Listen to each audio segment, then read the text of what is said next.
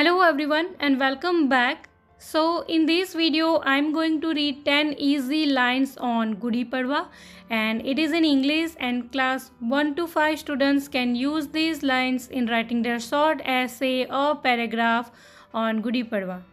But before that, if you have not subscribed my channel yet, then please do subscribe it and press the bell icon to get the notification of my latest video. So let's begin with the video. Gudi Padwa is famous festival of India. It is the first day of the Hindu New Year. It is mainly celebrated in Maharashtra. It is celebrated on the first day of the Chaitra month. A silk cloth is tied at the end of a long bamboo to make gudi.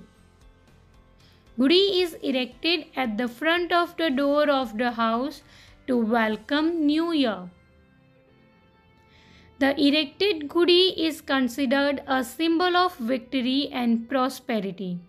Gudi Padwa is harvest festival and marks the end of Rabi season.